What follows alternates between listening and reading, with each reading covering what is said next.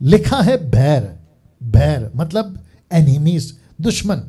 मती 24 का नौ, क्या कहता है देखिएगा, लिखा है, सब जातियों के लोग तुमसे बैर रखेंगे। तो सब जाति के लोग, एक तो अंदर से दुश्मनी, दूसरा बाहर से। तो यशु कहता है, चौथा ऐसा होगा कि जातियों के लोग तुमसे बैर रखेंगे। मेरा प्रश्न है, जातियों में क्यों? डैनियल राज को जातियों में क्यों बैर होगा? मैं आपको बताता हूँ, क्योंकि सुसमाचार लेकर जातियों में जाऊँगा ना।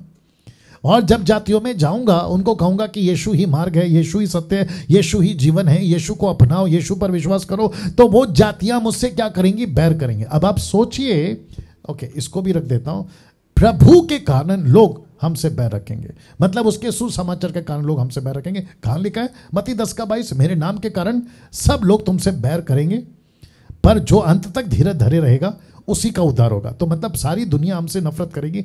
मैं आपको बता रहा था, ये वाला लाइन पे ओ सॉरी ये वाला लाइन पे कि सब जातियाँ हमसे नफरत करेंगी। मैं आपको बताता हूँ क्यों।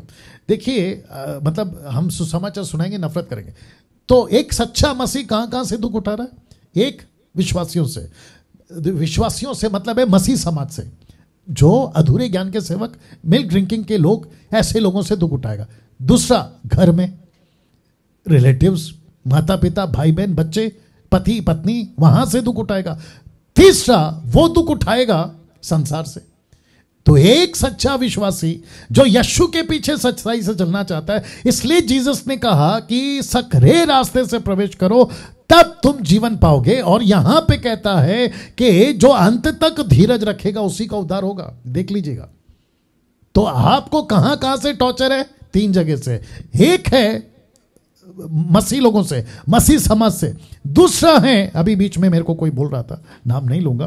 कह रहा था कि कोई शहर है, वहाँ के पास्टर डैनियल राज से खफा है, नाराज़ है। नाराज़ छोड़ो सर। आगे जाके तो बहुत भयंकर बातें होंगी।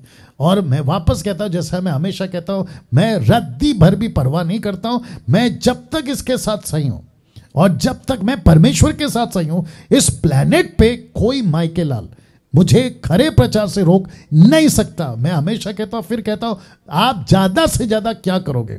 कत्ल करोगे। दैट्स इट फिनिश अगर मुझे रोका तो प्रभु किसी और को खड़ा करेगा। यही तो चलता आ रहा है। आपने कईयों को रोका पत्र उसको जेल में डाल दिया। परमेश्वर कहता है, यीशु कहता है, ओके, उसको निकालता हूँ जेल से, फिर खड़ा करता हूँ, फिर प्रचार करेगा। पौलुस कहता है, मैं कलिसा को जब वो शॉल था, कहता है, मैं कलिसा को सताऊँगा, खत्म कर दूँगा। यीशु ने उसी को बदल दिया शॉल से पॉल बना दिया। तो ये प्रभु का काम है, और मैं जानता हूँ तो विरोध सोसाइटी से भी, मसीह समाज से, दूसरा विरोध घर से, आपस में, रिलेटिव्स में, फैमिली मेंबर्स में मुझे कितने लोग कॉल करते हैं? अभी बीच में कुछ लोग कॉल कर रहे थे, बता रहे थे कि पास्टर डैनियल मेरी पत्नी मेरा साथ नहीं देती, मेरा पति मेरा साथ नहीं देता, मेरे बच्चे मेरा साथ नहीं देते माँ बाप साथ नहीं देते। मैं कहता हूँ कि भैया, फिर भी आगे बढ़ना है। फिर भी आगे बढ़ना है। और पौलुस तो कहता है कि जो शादी करता है, वो पति पत्नी की चिंता में रहता है, जो शादी नहीं करता, वो प्रभु की चिंता में कहता है, वो कहता है, मैं तुमको संसार के दुख से बचाना चाहता हूँ, ताकि तुम्हारा फोकस प्रभु पर हो। इसलिए यीशु ने कहा कि क्या कहते हैं, लुका के चौबीस के पच्चीस से आगे में, यीशु कहता है, जो कोई अपना क्रूस उठाकर मेरे पीछे नहीं चलेगा, संसार का, खुद का माता पिता का, प्राण का, वो त्याग ना कर दे, वो मेरा चेला नहीं हो सकता। ऐसा मैसेज ऐसी बातें, ये खरी बातें मुझे नहीं समझ में आता कि लोग आज चर्च में प्रचार क्यों नहीं कर रहे आज करना चाहिए। तो प्रभु के कारण लोग हमसे बैर रखेंगे और ऐसा बैर कि आप सोच नहीं सकते, कत्ल कर देंगे। अब इसको देखिए, प्रभु ने हमको इस नफरत करने वाली दुनिया में ही भेजा। आप जानना चाहते कहाँ लिखा है? योना सत्रह का सोलह। जैसा मैं संसार का नहीं, वैसा ही वे भी संसार के नहीं। यीशु कहता है, फिर आगे देखो क्या कहता है। उसी का अठारह वचन, सत्रह का अठारह वचन, जैसा तूने जगत में मुझे भेजा, यह नफरत की दुनिया में मैं इनको भेजता हूँ इसी जगत में। तो यीशु कहता है कि, डैनियल, तू अकेला नहीं था ये दुनिया में, खरा प्रचार करने वाला। तू अकेला नहीं था दुख उठाने वाला। तू अकेला नहीं था जिनको पीटा, मारा, पत्थर से मारा, या फिर क्रूस पे चढ़ा दिया। तू अकेला नहीं है। मैं खुद सह चुका हूँ। मैं खुद सह चुका हूँ।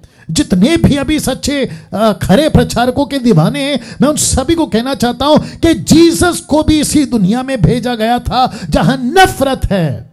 यीशु कहता है कि जैसा तूने मुझे भेजा, मैं भी इनको इसी दुनिया में भेजता हूँ। तो जीसस अगर पार हो सकता है, यह मुसीबत से हम भी पार हो सकते हैं। हम भी पार हो सकते हैं। तो हिम्मत रखो। दुख आता है, चिंता नहीं। सतावाता है, चिंता नहीं। अभी बीच में दोपहर को एक बहन से बात कर रहा था। वो कह रही थी कि, पास्टर डैनियल, मैं सोशल मीडिया पे आकर प्रचार तो करूँगी, मैं यूट्यूब पे, फेसबुक पे, लेकिन जैसे आपके पीछे कुछ लोग पड़ गए हैं, वैसे मेरे पीछे पड़ गए तो? मैंने उनको कहा कि जब आप सड़क पे चलती हैं तो कचरा देखती हैं। आप क्या करती हैं? उसको इग्नोर करती हैं, आगे बढ़ती हैं। नरेंद्र राव से बात कर रहा था कल के दिन, कल यस्टरडे नाइट को। उन्होंने कहा, यार, आजकल कुछ कुत्ते कुछ ज़्यादा ही भोंक रहे यूट्यूब के ऊपर खरी शिक्षाओं के विरोध में मैंने कहा, आप जब यूट्यूब ओपन करते हो तो ऐसे लोगों को इग्नोर करो। तो मैंने एक एग्ज़ाम्पल दिया कि जो थर्ड ग्रेड की मूवी होती है, उल्टे सीधे कपड़े हीरोइन पहन के, आपको फ़ोटो दिख जाता है। फ़ोटो देखते ही आप क्या करते हैं? अरे यार, ये तो बकवास वाला वीडियो है। इसको क्यों क्लिक करूँ? वैसे ही इनकी वीडियो समझो। थर्ड ग्रेड की पिक्चर वाली वीडियो थर्ड ग्रेड का उल्टा सीधा सी ग्रेड का वीडियो या फिर बॉन वीडियो जो दिखता है आपको यूट्यूब पे कभी कभी आ जाता है, ऐसी गिनती इनकी करो। तब नरेंद्र ने कहा, यस, ये बात सही है। तो मैं भी कहता हूँ कि जितने आप लोग YouTube पे, जब किसी भी सच्चे प्रचारकों के अगेंस्ट में कोई भी कुत्ता भौंक रहा होगा, आपको समझ जाना है कि, अरे यार, ये तो ये थर्ड ग्रेड वाला, ये तो सी ग्रेड वाला आदमी है। चलो इसको, आप नेक्स्ट जंप करो इग्नोर करो। ये होता है। वाह तो यीशु कहता है कि मैंने तुमको उसी जगत में भेजा है जहाँ नफरत है। तो आपको नफरत तो झेलना होगा, दुख झेलना होगा। यह घटेगा, सर।